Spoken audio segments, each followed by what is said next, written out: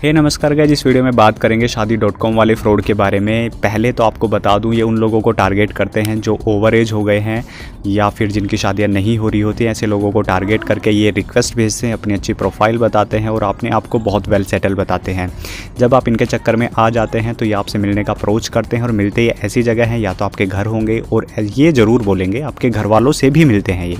ये ज़रूर बोलेंगे ये लोग कि ज़्यादा लोग नहीं चाहते हैं अपने घर पर और इस तरह के जब चीज़ें मिल जाती जाती हैं तो वहाँ पे अपने आप को फंसा बता देते हैं और आपसे पैसा ऐंठ लेते हैं। या फिर आपके कुछ भी फ़ोटोज़, कुछ वीडियो, कुछ उल्टा सीधा मंगा लेते हैं अपने आपको इन्फ्लुएंस में लेके और आपको ब्लैकमेल करते हैं। तो इस तरह की इन्फॉर्मेशन या इस तरह की जानकारी से आप बच सकते हैं और इनके खिलाफ़ एफआईआर ज़रूर करें। अगर आप इस तरह से फंसे हैं तो एफआईआर ज़रूर करें। मिलते हैं किसी दूसरे वीडियो में। Till then, bye bye.